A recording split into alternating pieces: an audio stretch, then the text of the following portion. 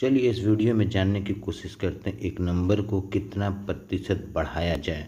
इसके लिए क्या मेथड है? चलिए एक नंबर लेते हैं, बीस, और इसको पाँच परसेंट की बढ़ोतरी देनी है। तो बीस का पाँच प्रतिशत काट कूट कर देखिएगा, एक आएगा। इसको बीस में जोड़ा जाए तो बीस प्लस एक, इक्कीस आएगा।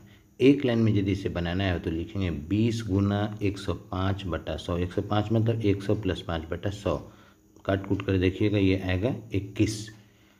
एक दूसरा उदाहरण लेते हैं, यदि दस प्रतिशत का वृद्धि करना हो बीस में तो बीस गुना दस मतलब एक सौ प्लस दस को ऊपर बटा सौ नीचे काटाकुटी कर लीजिए, देखिएगा, आएगा बाईस।